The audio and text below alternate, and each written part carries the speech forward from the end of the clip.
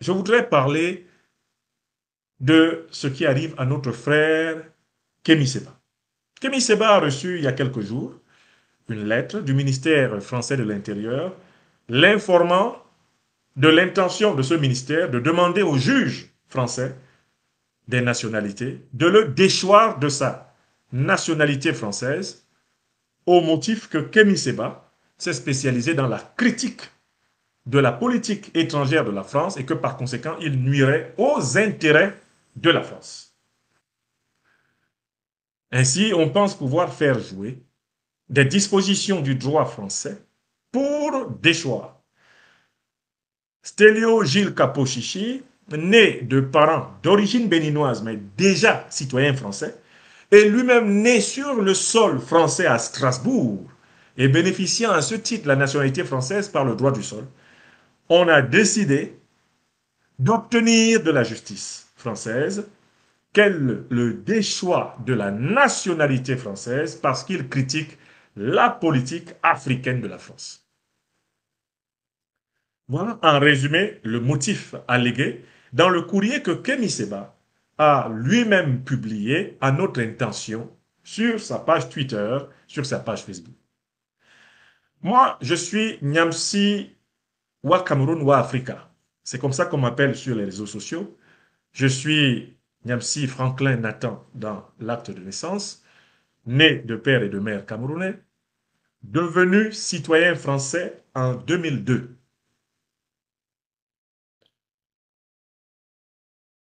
Et à ce titre, je me sens profondément concerné par ce qui arrive à Kémy Seba. Et si je prends la parole aujourd'hui, c'est pour m'adresser à trois communautés.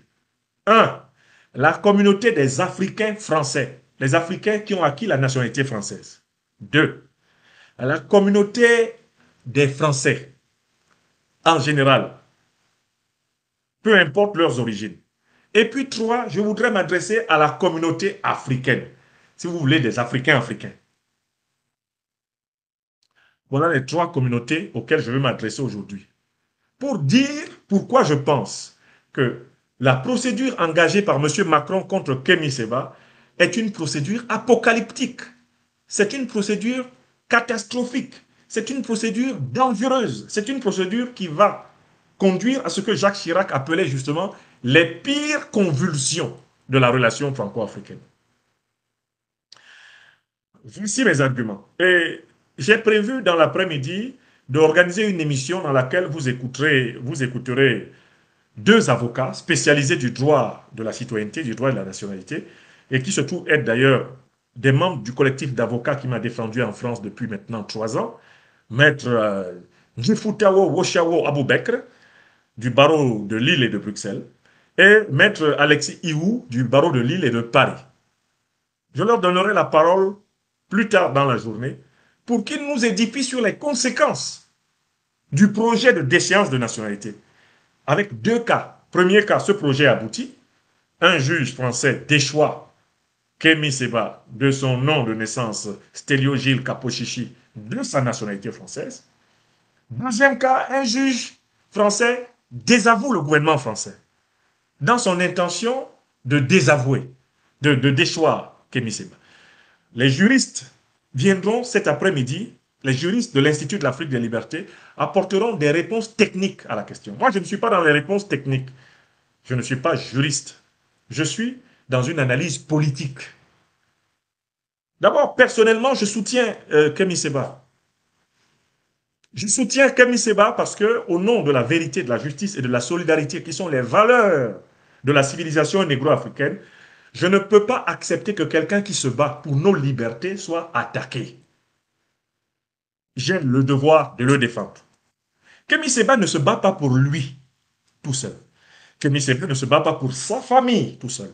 Kemi Seba se bat pour tout le continent africain et les Africains de tous les continents.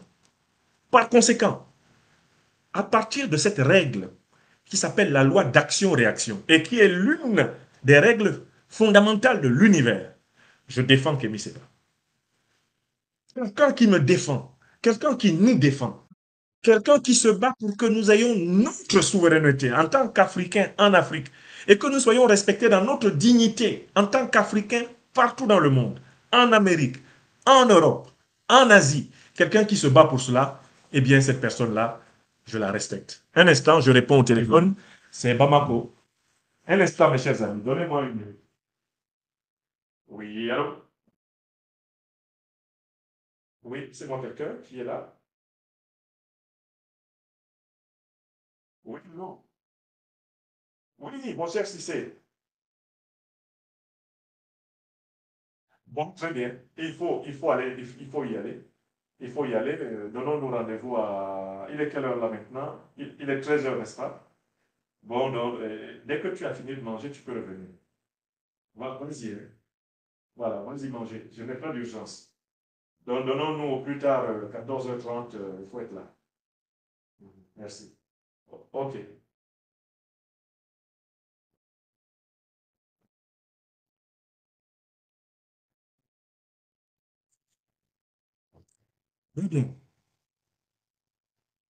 Alors, donc, je commence par dire les raisons pour lesquelles je soutiens Kémy Seba. Mais parce qu'en soutenant Kémy Seba, je me soutiens. Kémy Seba, pourquoi se bat-il?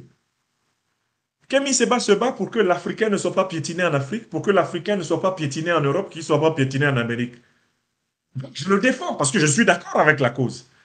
Pourquoi voulez-vous que je sois méprisé en Afrique, mon continent natal, par des régimes politiques? Que je sois méprisé par des puissances étrangères. Pourquoi voulez-vous que je l'accepte? Kémy Seba se bat contre cela, je le soutiens. Je le soutiens. Je le soutiendrai maintenant, demain, après-demain. Tant qu'il se battra pour notre dignité. Et j'appelle toutes les Africaines et tous les Africains du monde à appliquer la première règle. Nous dénonçons toute persécution contre Kémy Seba parce que Kémy Seba ne demande pas que nous ayons des droits pour dominer les autres. Il demande que nos droits soient respectés. Nos droits à nous. Ça, c'est le premier point pour lequel je le soutiens. Et je voudrais me désoler ici du comportement de certains Africains qui sortent et qui oublient que c'est pour nous que Kémy Seba est dans les problèmes. Quels que soient les avantages qu'on peut tirer de la situation de meneur de lutte, oh la gloire, oh peut-être euh, des soutiens exceptionnels, peut-être d'ailleurs parfois des moyens financiers, etc. Aucun de ces avantages ne peut remplacer le risque qui est pris pour votre vie, pour notre vie. Ce risque qui est pris par tous ceux d'entre nous qui s'engagent pour la communauté est un risque qui fait que nous devons les soutenir sans arrière-pensée. Les Africains et les Africains doivent être contents que leurs leaders ne soient pas des misérables. Les Africains et les Africaines doivent être contents que leurs leaders trouvent les moyens de faire face à la violence des puissances. Les Africains et les Africaines doivent être contents de voir Kémy Seba réussir à voyager à travers le monde. Aller en Amérique latine, aller en Amérique du Nord, aller en Asie, traverser l'Afrique. C'est important pour défendre justement notre cause. Kémy Seba, il voyage, il défend quoi? Notre cause. Donc, nous le défendons. Et je m'adresse aux Africains de France. Je m'adresse aux Africains d'Afrique et je m'adresse aux Français de France qu'ils comprennent pourquoi nous soutenons Kémy Seba. Parce que Kémy Seba nous soutient, il nous défend. Le plus grand mythe de l'Occident, l'Occident judéo-chrétien, son plus grand mythe, c'est le mythe du sacrifice. Où un individu est supposé être mort pour toute l'humanité. C'est vrai qu'il y a des jours où les Africains se réveillent et se demandent comment Jésus a pu mourir pour eux. Jésus, un hébreu de Nazareth, comment il a pu mourir pour nous tous? Ça n'a aucun sens au, sens littéral. Mais la mort du Christ a une signification symbolique. C'est que tout individu qui dédie sa vie à l'amélioration du sort de sa communauté est un Christ. Christ est une notion. C'est une notion symbolique qui s'applique à tout individu qui dédie sa vie à l'amélioration du sort de l'humanité. Voilà ce que signifie le mot Christ. Donc quand on vient dire aux Africains, Jésus est mort pour vous, la plupart des gens qui disent ça ne comprennent rien à ce qu'ils disent. Pourquoi un hébreu, un juif va mourir à Nazareth pour toi, à Bamako? Pourquoi? Pourquoi?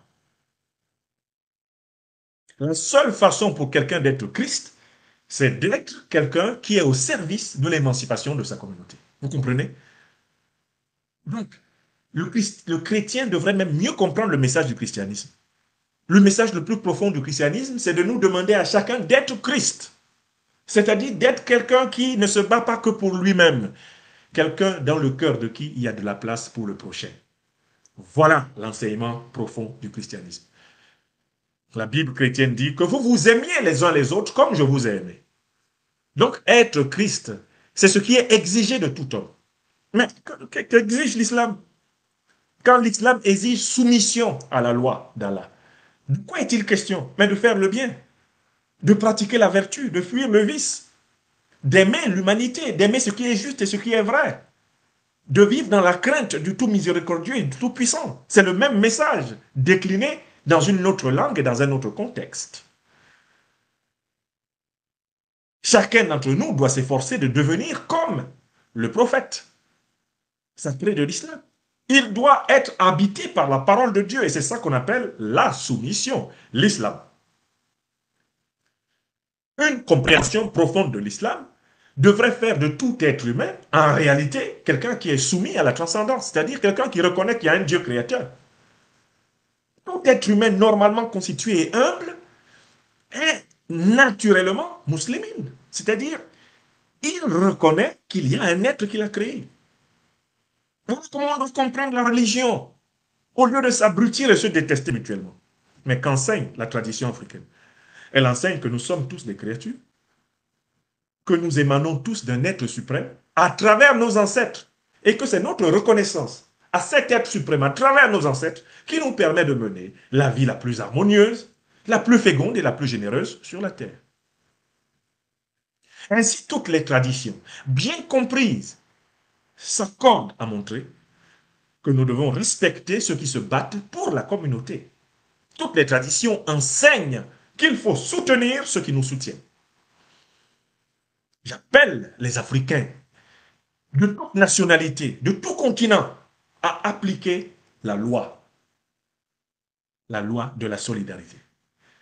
Car il se les problèmes qu'il a ne viennent pas du fait qu'il se bat pour lui, mais qu'il se bat pour nous. Et nous devons le lui rendre en sortant sur les réseaux sociaux pour le défendre. Ça, c'est la première raison. J'appelle cette raison la raison métaphysique, spirituelle, la mystique de la communion. Et vous voyez comment la communauté juive dans le monde entier applique cela. Que les juifs soient américains, qu'ils soient européens, qu'ils soient asiatiques, quand la communauté juive est attaquée en tant que communauté, quand l'antisémitisme ressurgit, la communauté juive réagit en transcendant les barrières des ethnies et des nationalités. Il faut que les Africains apprennent à se comporter de cette façon. De telle façon qu'ils soient donc justement respectés par toutes les autres communautés qui se font respecter vous ne pouvez pas être respecté si vous ne vous faites pas respecter dans le cadre de votre communauté. Si tu n'es pas respecté dans ta maison, pourquoi veux-tu qu'on te respecte hors de ta maison? Ta maison africaine, c'est l'Afrique. C'est l'Afrique mondiale. Si tu n'es pas respecté dans l'Afrique mondiale, pourquoi crois-tu qu'on va te respecter dans le monde mondial? Ça, c'est le premier point. Pour lequel j'apporte mon soutien. Kemi Seba n'a besoin de rien me demander. Il ne m'a rien demandé. Dès que j'ai vu qu'on le menaçait, je fais partie des premiers au monde à être sorti pour dire soutien total. Parce que ce qu'on te fait, c'est exactement ce qu'on veut me faire. Ce qu'on te fait, c'est exactement ce qu'on veut faire à tout Africain qui exerce son devoir de vérité, son devoir de justice, le courage de lutter pour la communauté, dans le cadre de revendications justes et fondées. Voilà la première raison. Et il faut que les Africains arrêtent de se faire honte entre eux. Je commence par les Africains de France, dont le comportement est le plus, le plus exécrable qui soit, parce que ce sont les Africains les plus abrutis par le néocolonialisme. Les Africains les plus abrutis par le racisme, c'est les Africains de France. Ils sont ceux qui tremblent ceux qui tremblent le plus, ils tremblent avec une agitation cataleptique devant le néocolonialisme. Qu'on menace, ils rasent les murs. Ils tombent en mousse. Ah non, vraiment là, là seulement, hein, Kemi est allé chercher, hein, c'est son problème. Hein, il est un peu trop radical. Je lui avais dit de changer de méthode. Il n'a pas écouté. Ça ne changera rien. On viendra te chercher. Je vais le montrer dans le deuxième album. Ça ne changera rien. Vous, quand vos enfants Quand on arrête ton enfant en ville, parce qu'il était dans une rixe, quand tu vas au commissariat de police, quel est ton objectif? Tu sais bien que ton enfant a tort. Quel est ton objectif?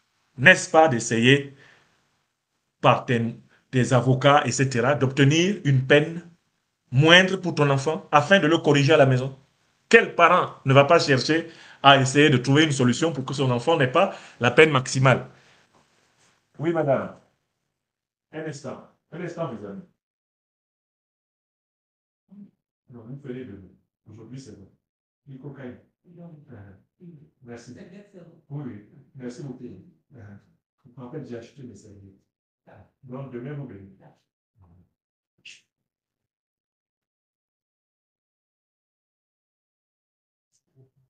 Excusez-moi, mes amis. On est, à, on est à Bamako. Je gère les, les contingences. Donc, est-ce que, est que l'Afrique, est-ce que l'Afrique est, est Les Africains français, il faut qu'ils sortent de leur lâcheté, de leur petit corporatisme, de leur, leur micro-nationalisme hérité du colonialisme.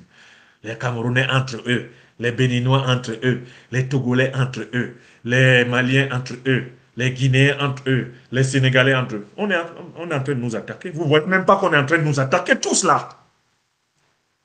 Je vais le démontrer dans la deuxième partie de cette intervention. Mes chers amis, il y a une deuxième raison pour laquelle nous devons soutenir Kémy Seba. Vous savez quoi? Parce que la procédure judiciaire qui est intentée contre lui, elle a pour but d'atteindre nos intérêts.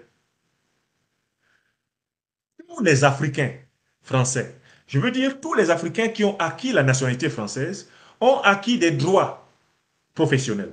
Ils ont acquis des droits sociaux. Ils ont acquis des droits économiques, des droits financiers. Ils ont acquis des droits immobiliers, des droits fonciers qui sont enracinés sur la citoyenneté. C'est-à-dire que, par exemple, moi, je possède deux appartements en, France. Ces appartements, je les finance avec des crédits que je paye avec mes salaires. Ces crédits que je paye avec mes salaires, mais c'est parce que je travaille en France comme citoyen français, comme enseignant, par exemple, d'éducation nationale, que l'on peut prélever une partie de mon salaire pour payer mes crédits et régler les propriétés. Je prends mon cas pour vous montrer que c'est ce qui va vous arriver si vous vous amusez. Les propriétés que moi j'ai achetées avec mon argent, l'argent que je travaille en France, ce sont des propriétés qui sont faites pour être transmises à mes enfants. Vous êtes d'accord avec moi? Elles sont faites pour être transmises à mes enfants. Mes enfants, par exemple les miens, qui sont nés d'une mère française, de l'île de la Réunion, française de l'île de la Réunion, ivoirienne par son père, française de l'île de la Réunion par sa mère. Donc, quand je ne serai plus de ce monde, mes biens profiteront, je l'espère, à ma femme qui me survivra et à nos enfants. Mais la transmission de ces biens, elle est conditionnée par le fait que non seulement j'achève de les acquérir, mais que les droits que j'ai acquis soient intacts de telle façon que quand les enfants mes quatre enfants devront hériter de mes biens, soit pour les vendre, soit pour se les partager, soit pour en jouir, mais ils les héritent. Or, si entre-temps, moi j'ai été dépossédé de mon statut de citoyen français, il s'ensuit qu'on est en train de déshériter mes enfants. Les juristes vont vous expliquer ça ce soir. Je reviendrai ici avec deux juristes pour vous expliquer que les enjeux de la déchéance de nationalité, c'est qu'on veut voler aux Africains leur propriété. On veut voler aux Africains leur propriété. N'oubliez pas que les Africains, depuis maintenant plus de 200 ans, sont devenus propriétaires dans l'espace français. L'espace français, ce n'est pas que la France métropolitaine. L'espace français, c'est aussi les Antilles. Les Africains sont propriétaires aux Antilles. Que ce soit les Africains descendants d'esclaves ou les Africains venus par la suite d'Afrique. Ils sont propriétaires aux Antilles.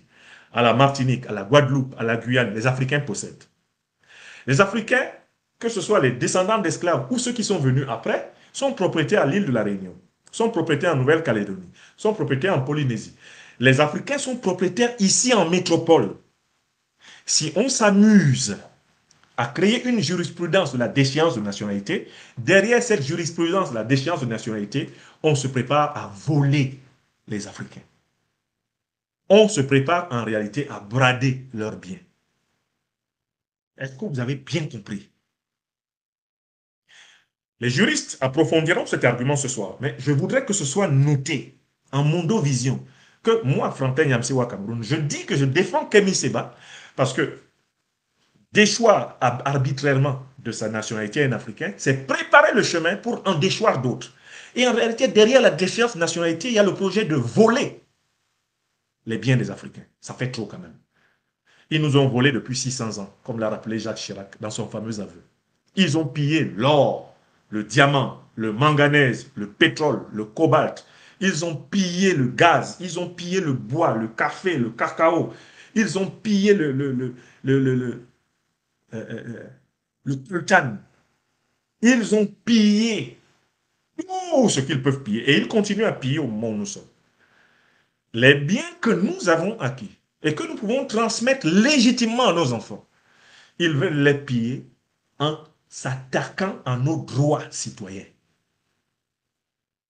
Et quand on le fait contre Kémy Seba, les niais et les Africains de France sont les pires niais que je connaisse, ils rasent les murs. Alors qu'en fait, il y a quelque chose en droit qu'on appelle la jurisprudence. La jurisprudence. Une fois qu'on a pris une décision qui déchoit de ses droits quelqu'un qui a le même statut que toi, sache que ça veut dire qu'on t'a déjà potentiellement déchu des mêmes droits. Parce que sur la base de cette jurisprudence, on te déchoira. toujours, tu pourras écrire un tout petit commentaire sur les réseaux sociaux. On va prendre ce commentaire et dire, ah oui, tel jour tu as dit ceci. Ok, la loi s'applique. Tu n'es plus français. Ah, mais tu n'es plus français, c'est-à-dire que tu ne peux plus payer ta maison, tu ne peux plus payer tes crédits, puisque tu as obtenu ces crédits en tant que français. Tu n'es plus français, c'est-à-dire qu'on t'arrache euh, ton appartement, on t'arrache ta maison, ben on t'arrache ta voiture. Tu n'es plus français, c'est-à-dire que du jour au lendemain, ce que tu as acquis par ton travail, on l'arrache et on le brade. La méthode utilisée contre les oligarques russes par les Occidentaux, complètement à côté du droit, dans le, dans le mépris total du droit, c'est cette méthode que le gouvernement Macron veut mettre en œuvre contre Kémy Seba. Et nous tous. Une méthode extra-légale, illégale. Il ne faut pas que les Africains disent que je ne les avais pas prévenus.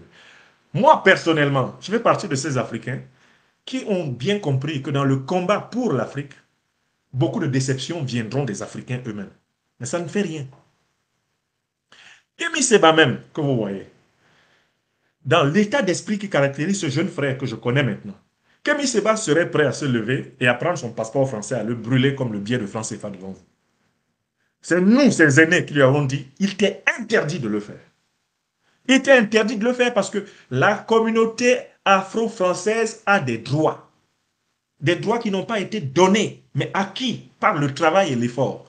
Ces droits ne peuvent pas être bradés du jour au lendemain parce que M. Macron et M. Darmanin te mettent la pression. Je veux ici témoigner que moi j'ai appelé Kémy Seba pour lui dire tu vas, tu vas te calmer et nous allons mobiliser des hordes de robes noires. Les avocats africains de France seront de sortie pour combattre. Parce que là, c'est la communauté africaine qui est attaquée. Ce qui est attaqué, ce n'est pas toi, c'est nous tous. Tu, toi, Kémy Seba, tu dois t'asseoir à côté. On envoie nos juristes face à ce régime complètement à la dérive. Un régime qui déclare la guerre sans avoir consulté le Parlement. Un régime qui justifie des citoyens comme étant des citoyens S, traite de terroristes des citoyens qui ne sont poursuivis par aucune juridiction. Un régime qui éborgne les manifestants, qui tape sur les agriculteurs, un régime qui, ruine les Français par les factures d'énergie. Ce régime-là, il est de question qu'un Africain de la tribu de Kemiseba se laisse humilier en battant en retraite à la première attaque. Moi, Nyamsi wa Cameroun ou Africa, je vous informe que j'ai appelé Kemi Seba pour lui dire, ne pas bouger. Je connais la mentalité de Kemi Seba. Lui, il se préparait à se lever et à dire, ok, le passeport français, j'en ai rien à foutre, vous le prenez. Moi, je lui ai dit non. Quand on est un leader communautaire, on ne fait pas un pas sans son peuple. Si tu veux jeter le passeport français. Il faut que tu regardes la communauté des Africains de France et te demandes, et que tu te demandes quelle en est la conséquence pour eux. Tu ne peux pas te comporter. Tu ne peux pas te comporter comme un individu singleton. Voilà. Je, je me permets de vous dire ce que j'ai dit à Kémy. Je lui ai dit, non, non, non, tu ne bouges pas. Tu ne fais rien. Brûler un billet de CFA, ça se comprend. C'est sans conséquence euh, extraordinaire, si ce n'est une conséquence symbolique. Mais attention, le passeport, ce sont des droits. Il y a des droits qui sont associés à ce passeport. La carte d'identité, il y a des droits qui sont liés à ce passeport. Ces droits-là sont politiques, mais ces droits sont économiques. Ils sont fonciers. Tu as communauté, c'est des millions d'êtres humains qui considèrent que ton combat est noble. Tu ne peux pas faire le pas vers cette auto-rupture sans que ta communauté te suive. Donc, je parle aujourd'hui très clairement. La citoyenneté française, dès lors qu'elle est reconnue à quelqu'un, est un droit. Monsieur Macron, Monsieur Darmanin ne se lèvent pas le matin et disent « toi tu dégages ». Ils ne sont pas plus français que les Noirs français. Ils ne sont pas plus français que les Arabes français. Parce qu'en fait, c'est une menace contre les Noirs français et les Arabes français. Et ce sera l'objet de mon troisième et dernier argument. Si quelqu'un ne veut plus être français, il le décide lui-même. Ce n'est pas Macron et Darmanin qui décident à sa place. La personne fait ses calculs, la personne fait ses options et dit « je ne suis plus français ». C'est une liberté de conscience. Mais un leader communautaire ne fait pas ce pas-là sans avoir calculé les conséquences pour la communauté. C'est ce que j'ai dit à Kémy. C'est ce que j'ai dit à Kémy. Ma méthode à moi, c'est que nous devons mobiliser des centaines de robes noires. Il faut qu'on voit le plus grand nombre de robes noires. Vous avez vu le nombre d'avocats qui se sont mobilisés pour défendre les Palestiniens? Vous savez combien d'avocats africains il y a en France?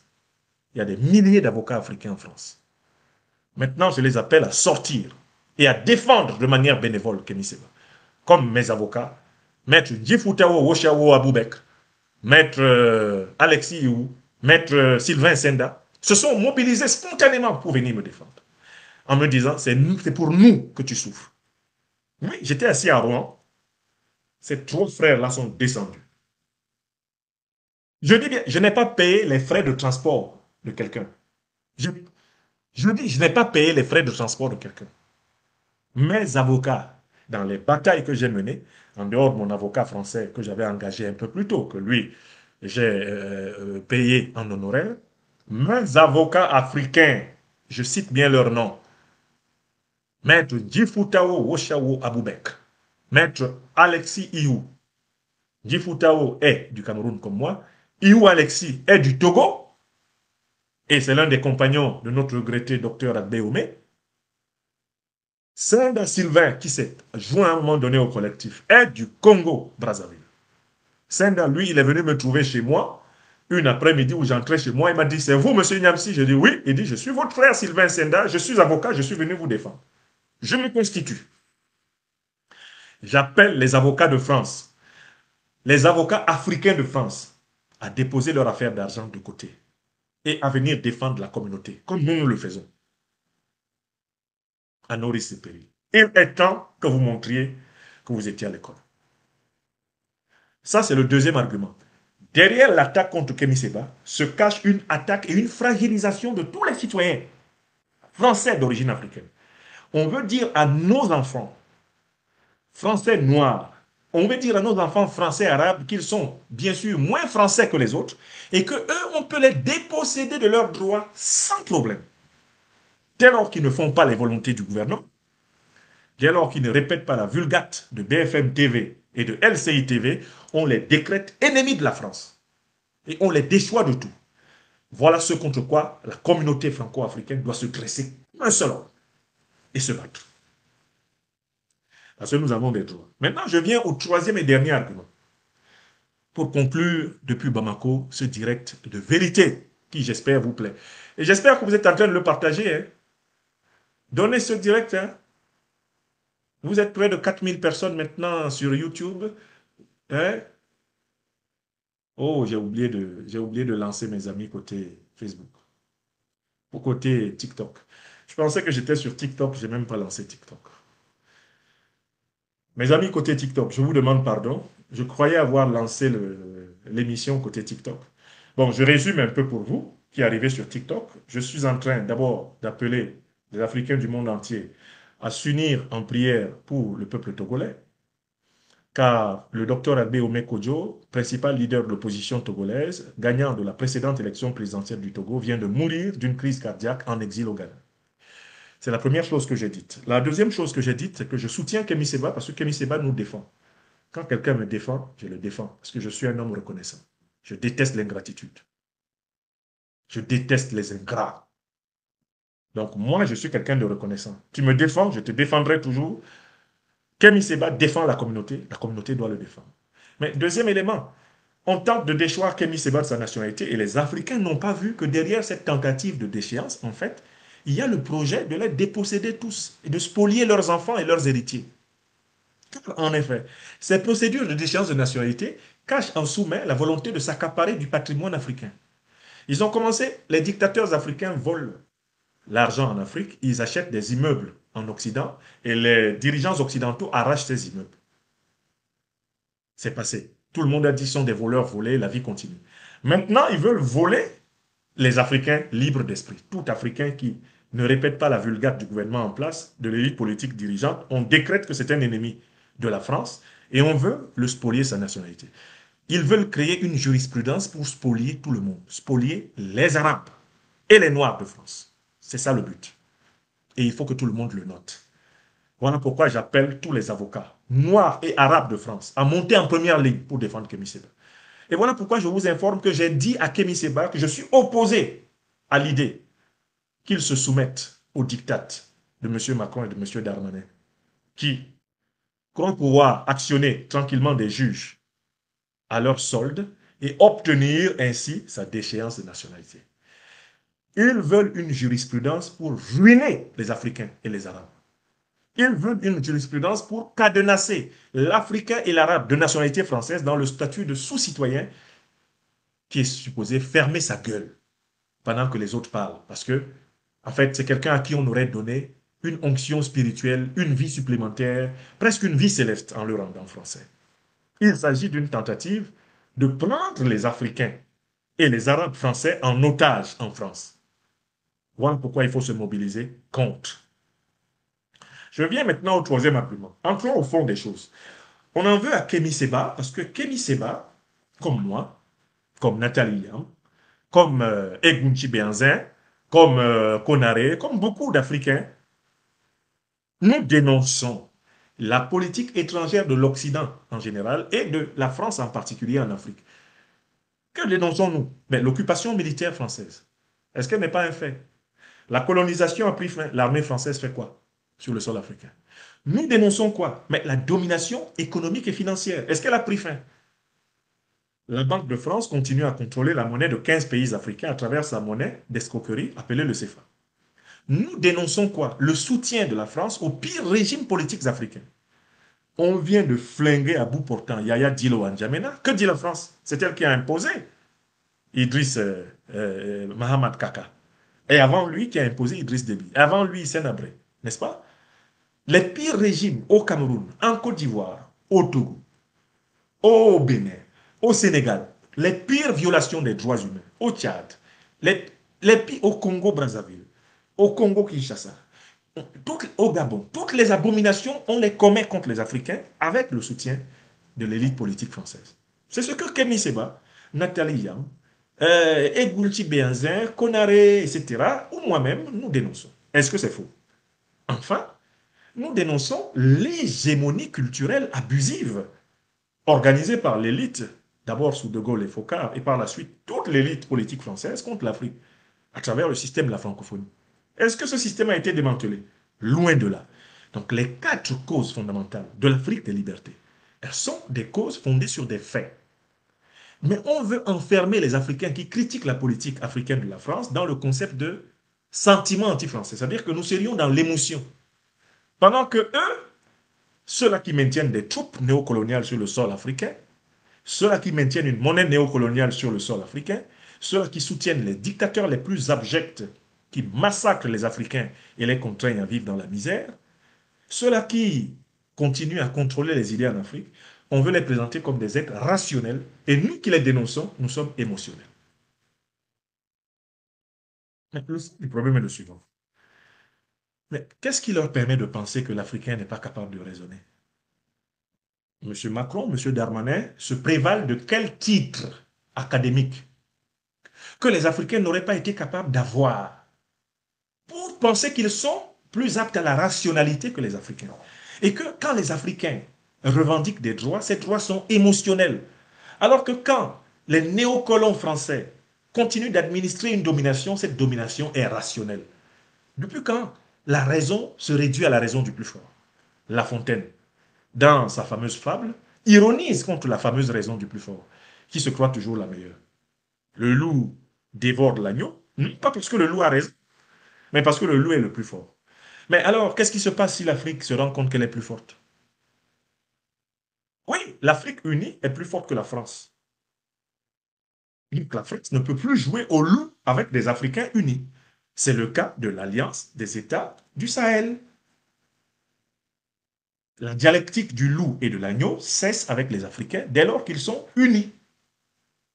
unis, les Africains peuvent faire partir l'armée française et rentrer en France unis, les Africains peuvent démanteler la domination économique et financière française et créer leur propre monnaie.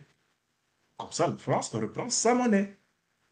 Unis, les Africains peuvent chasser les dictatures, installer des transitions et des gouvernements révolutionnaires et réinventer leur modèle politique, loin du paradigme démocratique dont on nous a battu les oreilles, notamment depuis le très hypocrite discours de la Bolle en 1991, en 1990 le 20 juin 1990, dont on nous a reparlé dans le cadre du rappel qui sauve le président Abdourahman Tiani.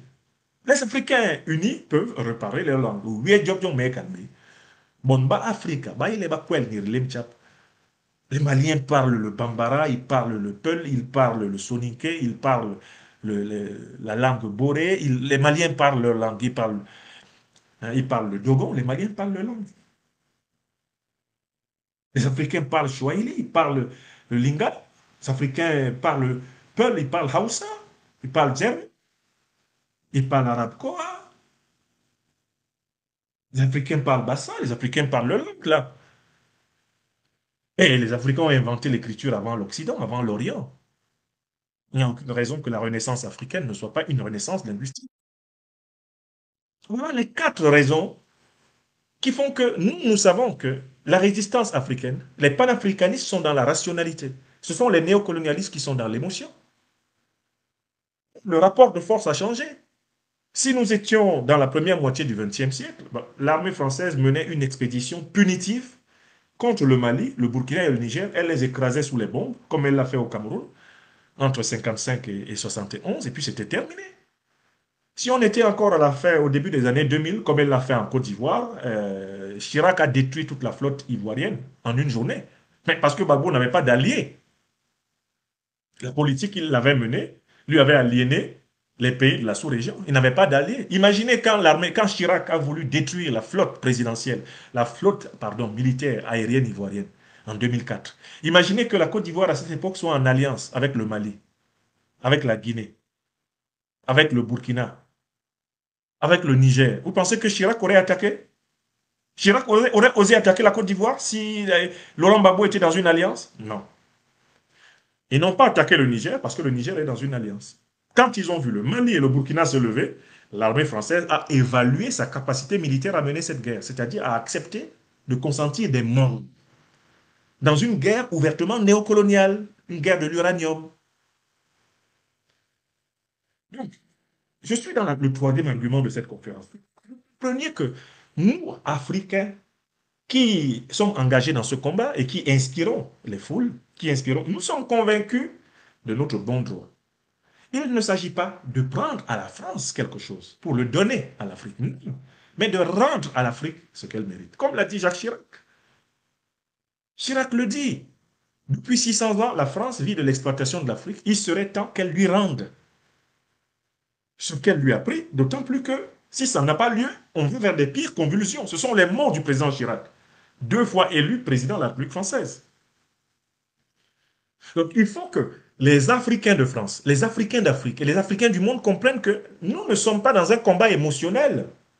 Moi, Niamsi ou Cameroun ou Africa, je n'ai jamais détesté quelqu'un à cause de la couleur de sa peau. Je ne peux pas détester un être humain parce qu'il est blanc.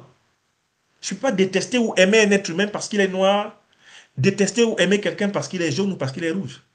Personnellement, je ne suis pas du tout. Alors, je me suis débarrassé, j'ai travaillé pour me débarrasser des préjugés tribalistes et racistes. Mon panafricanisme n'est pas un appel à la domination du monde par les Noirs.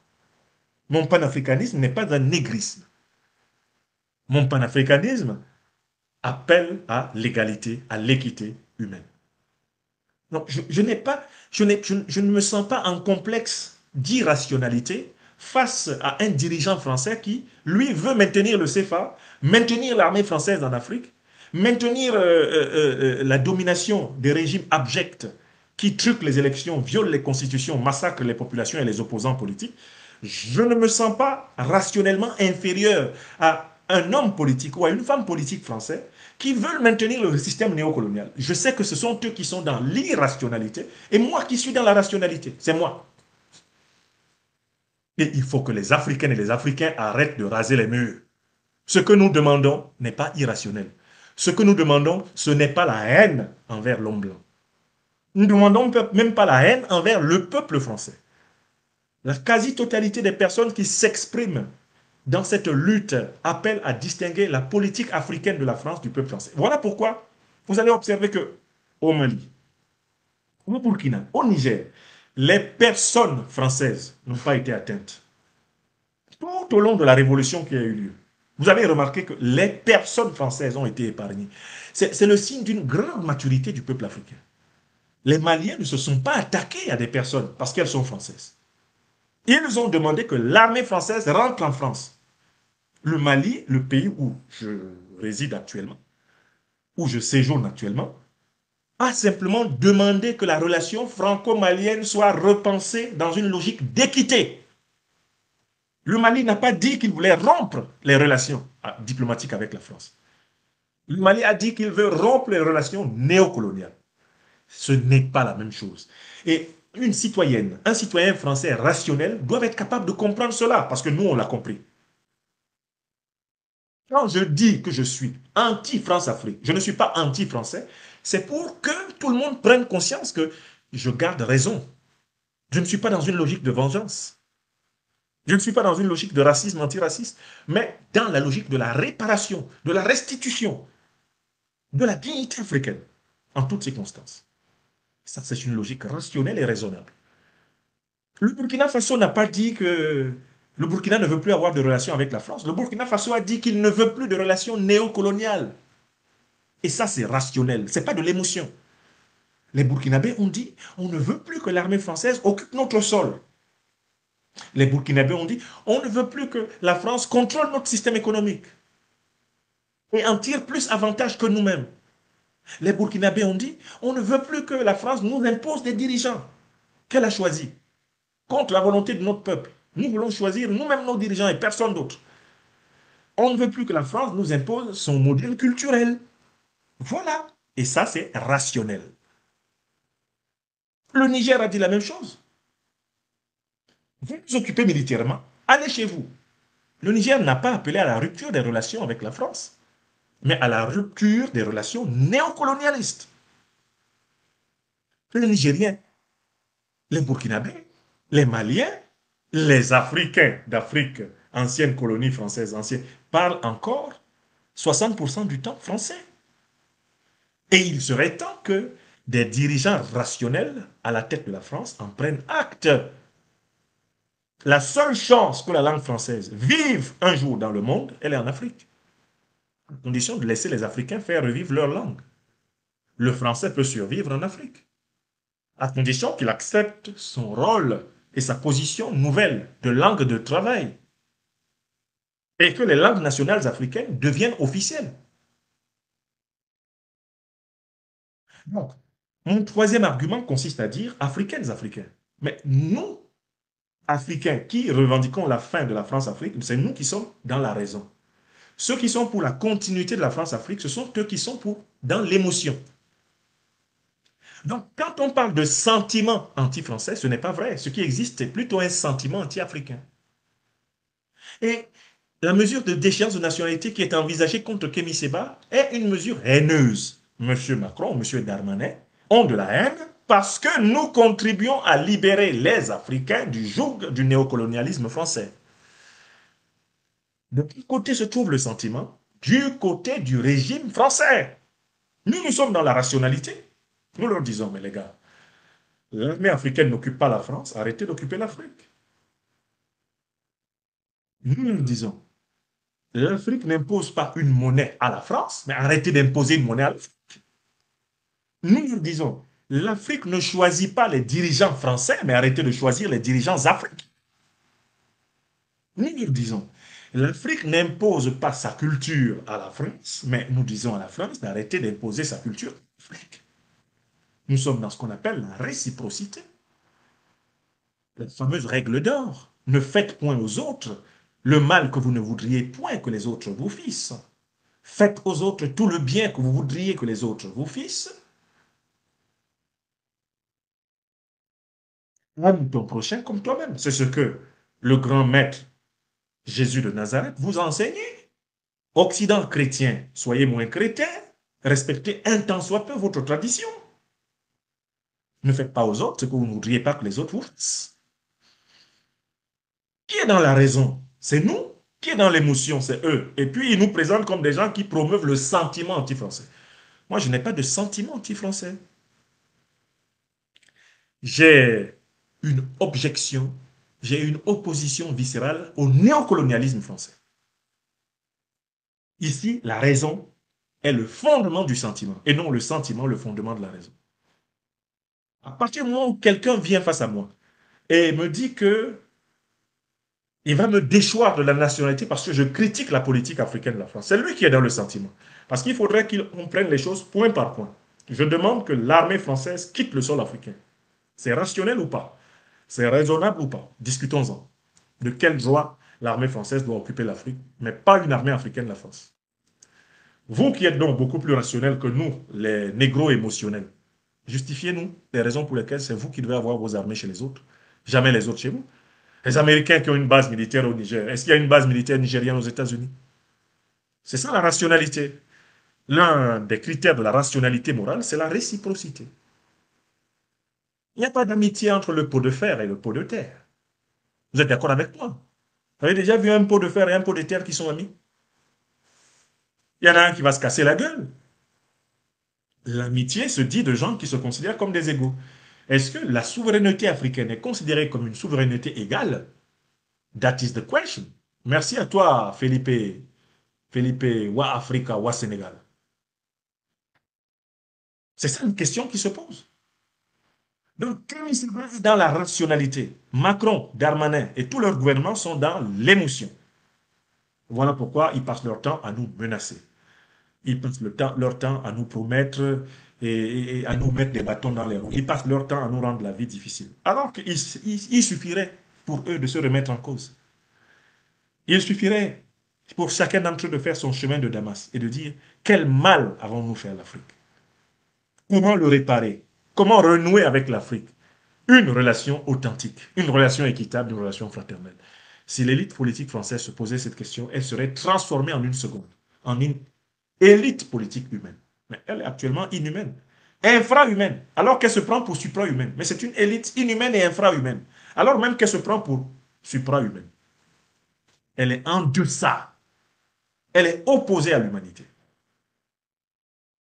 Nous, les Africains de France, nous, les Africains de nationalité française, sommes la dernière chance de la France de se sauver comme puissance mondiale. Voilà pourquoi j'ai proposé il y a plusieurs années à l'élite politique française de sortir du modèle de la République centralisée jacobine française pour aller vers le modèle de la fédération française. La France doit être une fédération. Si elle veut continuer à intégrer la métropole française, les Antilles, la Réunion, la Polynésie, la France doit être une fédération. Elle doit se considérer comme une fédération. Elle doit passer du modèle républicain unitaire au modèle fédéral décentralisé ce qui lui permettra de faire respirer les multiples ethnies qui la composent et non pas de continuer à imposer le dogme de la domination blanche, catholique, qui elle-même ne correspond plus à rien, puisque l'élite politique française n'est pas catholique. Elle est aux antipodes des valeurs du catholicisme. La France, fille aînée de l'Église, d'abord, elle n'a jamais existé, et elle existe encore moins aujourd'hui. Pape Ndiaye, qui m'a fait crucifier en France, avant d'être crucifié du ministère de l'Éducation nationale, a dit que la France n'a jamais été, n'est pas la patrie des droits de l'homme. Il faudrait reméditer les affirmations de l'historien Pape Ndiaye. La France n'a jamais été, n'est pas et ne sera jamais la patrie des droits de l'homme. Ça, c'est Pape Ndiaye qui l'a dit. Avant de servir de bras armé pour me frapper en bon traître. Depuis, il a eu sa médaille. On lui paye 17 000 euros par mois. Il est ambassadeur chargé de l'Europe. Un poste pour ne rien faire. Et en plus, il ne faut pas qu'on dise, il ne faut même pas qu'on parle. Parce que quand on en a parlé, quel crime Quoi? Ce Franck Yamsi, pour qui il se prend? Mais Franck Yamsi se prend pour un être humain. Un être humain. C'est tout. Quand je passe, vous dites, voilà un homme qui passe. C'est tout. Et je veux que les Africains qui m'écoutent, qui participent à mon enseignement, soient des Africains verticaux. Quand ils passent, on dit, voilà une dame, voilà un homme qui passe. Voilà une dame, voilà un homme qui passe. Voilà. Mais nous ne voulons rien d'autre. Donc, voilà les trois raisons pour lesquelles je voulais vous parler aujourd'hui et appeler la communauté africaine, la communauté française, la communauté mondiale à être attentive au fait que le projet de déchéance de nationalité euh, engagé par euh, M. Macron, M. Darmanin contre Kémy Seba est un projet d'explosion de la nation française. En fait, ils sont en train de détruire la nation française. Ce qui constituait le socle de la communauté française, même depuis De Gaulle. L'acceptation relative de la diversité française. Euh, la réconciliation de la France et de ses anciennes colonies sur la base du partage de la citoyenneté. Tout cela est ce qui est menacé de destruction à l'instant où nous parlons. Ce qui est menacé de destruction, c'est la France. Derrière ce projet de déchéance de nationalité, M. Macron et M. Darmanin vont installer très clairement dans l'esprit des Noirs et des Arabes français qu'ils ont été exclus de la nation. Et ainsi va s'installer une discrimination encore plus flagrante que celle qui existe déjà. Voilà pourquoi je dénonce.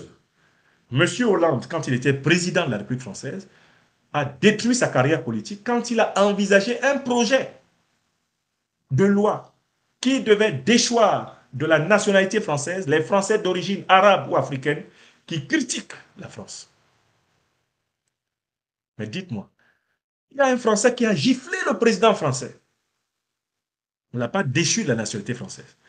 Vous pensez vraiment qu'un arabe ou un noir de France qui aurait giflé M. Macron serait encore français Selon la logique de ces racistes blancs? Je pose la question. Il y a un Français blanc qui a giflé de sa main. Et j'entends encore le bruit sonore de la claque infligée au président de la République.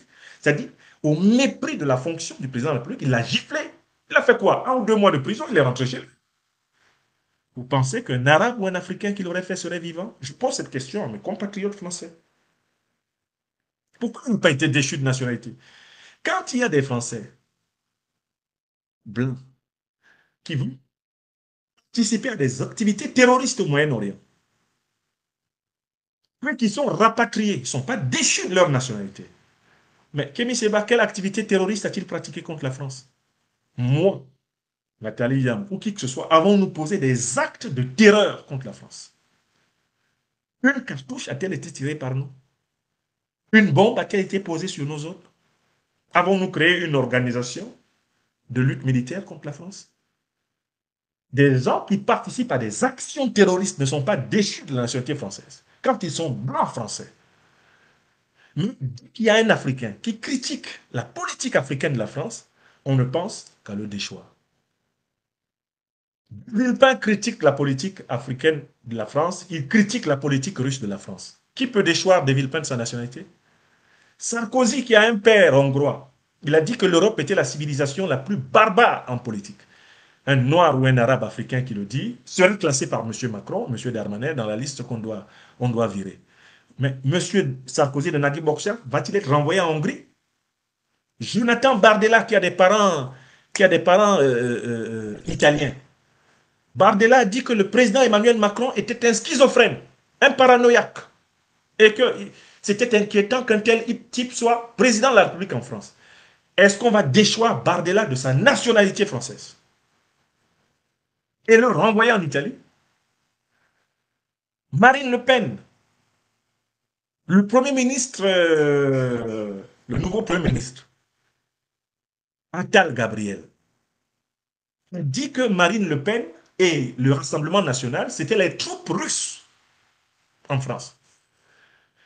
Mais a-t-on envisagé de déchoir Marine Le Pen et les dirigeants du Rassemblement national de leur nationalité française, justement parce qu'ils sont des troupes russes en France et qu'ils auraient trahi la nation française? Vous voyez ce deux poids, deux mesures Comment voulez-vous que nos enfants, les générations futures, de Français descendants de Noirs de France, les générations futures de Français descendants d'Arabes de France, comment voulez-vous qu'ils reçoivent le message que M. Macron envoie? Si ce n'est un message de mépris pour dire, toi, le Noir de France, toi, l'Arabe de France, vous êtes des sous-Français. Vous serez toujours en souffrance. Souffrance. S-O-U-S, France. Et vous serez toujours traité à part. Vous ne voulez pas la paix. Vous ne voulez pas la fraternité. Vous ne voulez pas la coopération équitable des peuples et des nations. Vous ne voulez pas le commerce équitable. Vous ne voulez pas le développement durable. Vous ne voulez pas les réparations. Vous ne voulez pas la réconciliation. Vous ne voulez pas la repentance.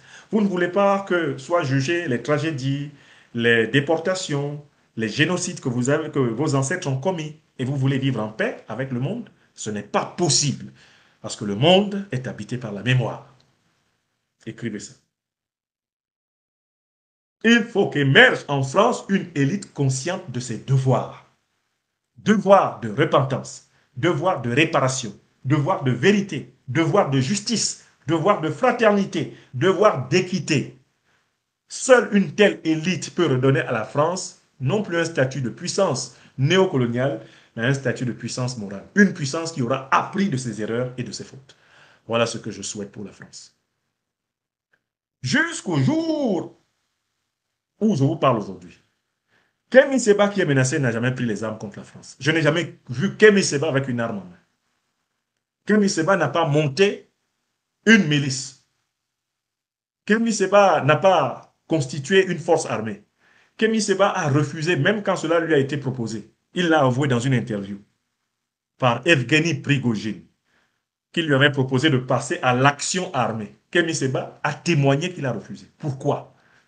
Parce qu'il a choisi en tant que militant d'agir au niveau de la conscience. Il est un guerrier de l'esprit. Et nous devons le défendre comme tel. Tous les Africains, toutes les Africaines, comme Nathalie Yam, comme Konare, comme Egunti, comme tous les autres qui se tiennent debout pour affirmer ce qui est vrai et ce qui est juste, nous devons les défendre comme la prunelle de nos yeux. Et il ne faut pas que les Africains s'habituent à se faire supprimer pour se défendre. Parce qu'en fait, en les défendant, vous vous défendez. Contrairement à ce que vous pensez, ce n'est pas pour eux que vous le faites, c'est pour vous-même. Je le disais encore, dans les autres communautés bien organisées du monde, on trouve normal que les leaders communautaires aient une vie correcte parce que ces leaders doivent respirer la confiance, ils doivent inspirer l'amour de la vie. Si un leader communautaire est dans la misère nue, mais il, ne pourra pas, justement, inspirer la volonté de prospérité. Il ne pourra pas inspirer la volonté de transformation positive de l'environnement chez ceux qui l'entourent. Donc, le leadership africain, sans être un leadership matérialiste, ne doit pas être misérabiliste. Kémy Seba, il fait plutôt bien ce qu'il fait. Moi, je suis très content d'avoir ce jeune frère. Je lui ai donné mon accord. Je donnerai dans les prochains jours, de temps en temps, des micros euh, des, micro-interventions, des interventions sur un certain nombre de sujets sur sa chaîne Afrique Résurrection. Oui, écoutez, quand un leader panafricaniste fait quelque chose, si les autres ne l'aident pas, qui va, qui va l'aider? Pour ceux qui se disent panafricanistes, quand un panafricaniste réussit ou fait quelque chose de bien, si nous ne l'aidons pas, que signifie notre panafricanisme? Je suis opposé au panafricanisme qui consiste à dire que tout le monde doit être dans la même organisation. Je suis opposé à cela, parce que ça conduit à la pensée unique, et la pensée unique est appauvrissante. Mais quand il y a quelqu'un qui est dans le le combat panafricaniste et qui mène une bonne action. Mais appuyons-le. Moi, j'ai dit à Kémy, euh, depuis le mois de février, j'aurais pu commencer, j'ai été saturé. J'ai dit à Kémy qu'à partir du mois de mars, je donnerai pour Afrique Résurrection. Comme le fait ma soeur Nathalie hier, je donnerai mes chroniques. Mais pourquoi Parce que je, donne des, chroniques sur euh, RFI, je donne des chroniques à France 24, je donne des chroniques à Sputnik, je donne, des chroniques à Russia Today, je donne à Vox Africa, je donne à Afrique Média. Pourquoi je ne donne pas à Afrique Résurrection? Moi, j'ai appris un grand secret. C'est qu'un grand n'est jamais jaloux. Un grand n'est jamais jaloux du succès d'autrui. La grandeur commence dans l'humilité. Un grand, au sens authentique du terme, n'est jamais jaloux du succès d'autrui. Quand je vois mon Kémy Seba qui marche, je le vois en Équateur, Cuba, moi je suis content. Mais je connais des petits esprits qui viennent grenouiller dans le panafricanisme et qui sont jaloux de lui, qui aimeraient qu'il ne réussisse pas. Je connais même des petits esprits africains qui se promènent maintenant sur les réseaux sociaux. Oui, tu as dit que la France est... Mais renonce alors, panafricain. Pourtant, ce que Kémy Seba fait, c'est même pour défendre ceux qui le traitent de panafricain. Nous défendons même ceux qui nous traitent de panafricains. C'est pour eux. Parce qu'ils sont remplis en France. Ils sont remplis en Italie, ils sont remplis en Europe, ils sont remplis en Amérique. Ils ont acheté des maisons. Ils ont des crédits à la banque. Ils ont des enfants qui ont grandi. Si une jurisprudence de la déchéance de la nationalité africaine s'installe, ça va les atteindre, ça va les frapper. C'est même pour eux que nous nous battons. Moi, je l'ai toujours dit. J'ai des responsabilités en tant que père de famille. Je dois veiller à ce que euh, ma famille, mes enfants grandissent dans les meilleures conditions possibles. Mais j'ai résolu, avant de faire pleinement la politique, j'ai résolu un problème fondamental. Et je le dis à tous les jeunes que je rencontre. Le métier.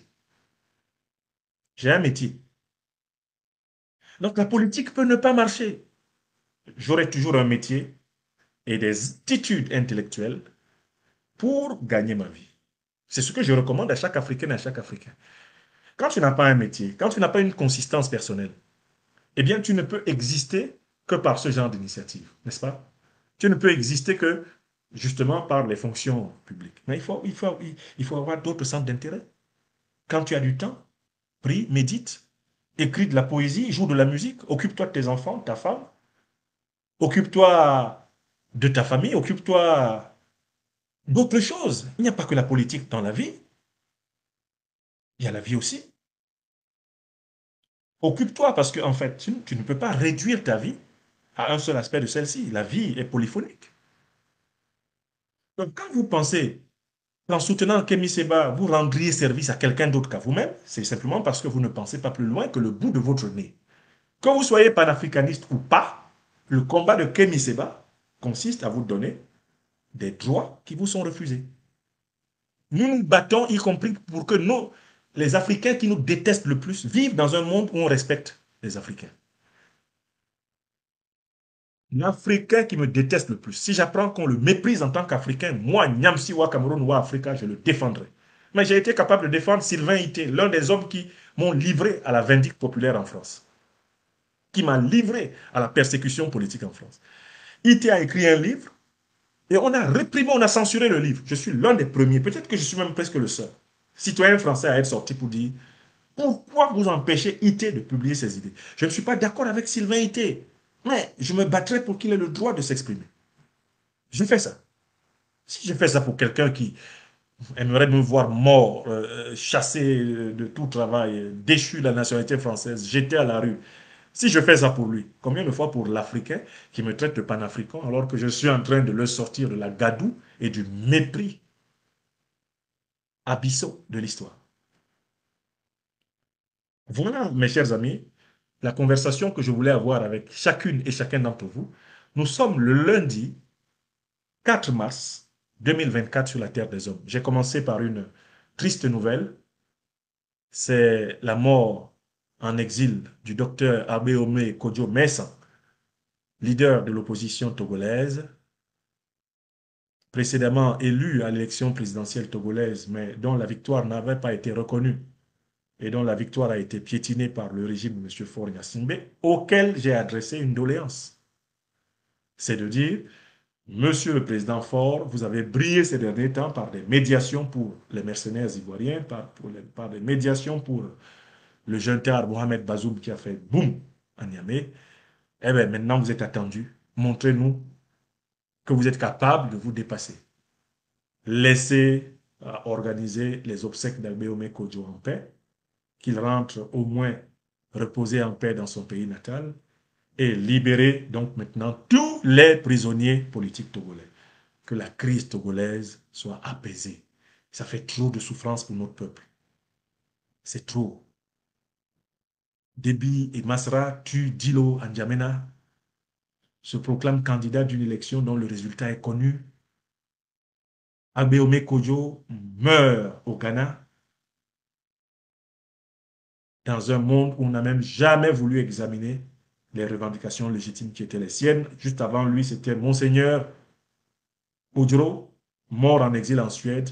Non, rendons un peu de souffle et de vie à l'Afrique. Bon, mes chers amis, voilà, je suis à Bamako, au Mali. Je suis au cœur de l'Afrique de l'Ouest. Je salue mes amis de la place de Bamako. Alors, mes téléphones n'ont pas arrêté de sonner. Vous avez vu pendant l'émission, je devais me lever, je devais... Je suis sur place, j'essaierai autant que possible de répondre aux aspirations les plus légitimes de toutes et de tous. Euh, je donnerai quelques interviews, je participerai à quelques émissions également sur la place euh, pour euh, contribuer, comme toujours, à l'édification et à la conscience citoyenne. Soyez bénis. Mon jeune frère Kémy Seba bien-aimé, cette conférence t'est dédiée. je t'ai dit que j'en ferai un élément d'une dizaine de minutes pour Afrique Résurrection, mais j'ai pensé qu'il me fallait faire d'abord un élément beaucoup plus beaucoup plus large pour parler au peuple africain et dire pourquoi je te soutiens. Mais tu m'as connu, tu me connais, et tu me connaîtras comme tu m'as connu et comme tu me connais. Je suis comme ça. Je ne suis pas l'ami, le frère des jours pères qui disparaît les jours impairs. Pendant qu'il y en a qui sont en train de protéger leur nationalité. Eh, il ne faut pas qu'on m'enlève. Pour protéger justement mes droits, je te défends. Et je te demande de te défendre. Je t'interdis de capituler. Non pas parce que tu, n'as aucun besoin de la nationalité française pour réussir ta vie, mais tu as une responsabilité envers la communauté africaine française. Tu ne peux pas te permettre de brûler tes vaisseaux alors que ton peuple est là. Et que ton peuple, quant à lui, doit défendre des intérêts. Alors ceux qui veulent éventuellement une séparation radicale entre la communauté africaine et la communauté française, bon, ça aura lieu quand la Banque de France va rendre toutes les réserves d'or qu'elle détient depuis des siècles et qui ont été volées en Afrique. Ça aura lieu quand les réserves de change des 15 pays de la zone CFA seront rendues. Ça aura lieu quand tous les génocides, toutes les exterminations, toutes les déportations, tous les crimes de guerre, les crimes contre l'humanité commis par les négriers, les colons et les néocolons seront résolus. Ça aura lieu quand les assassinats de dirigeants politiques africains par les services français seront jugés et condamnés. Bon, si vous voulez une séparation radicale, ben, on va faire le solde de tout compte. C'est comme ça qu'on fait, non? Donc, si vous ne voulez pas le solde de tout compte, allons-y donc à une réconciliation, eh bien, harmonieuse. Allons-y à une réconciliation qui ne soit pas séparatrice, mais qui renouvelle le monde de la relation franco-africaine. Le dernier service que je doive à la France, en tant qu'un pays qui m'a accordé, eh bien, son accueil un pays qui m'a accordé sa citoyenneté, c'est le service de la vérité, de la justice et de la solidarité, le service de la véritable fraternité. Je refuse d'être français au prix d'un nouvel esclavage. Je refuse d'être français au prix du mensonge, de la génuflexion, de la déshumanisation. Non, je suis africain, citoyen français, pour amener la France à une relation équitable, fraternelle et juste avec l'Afrique et pour être de ces Africains qui pourront aider à ce que la réparation, la repentance et la justice soient dites. Donc, quelque part, nous sommes le seul du monde. Les Africains de France sont la dernière chance de la France d'être une puissance mondiale.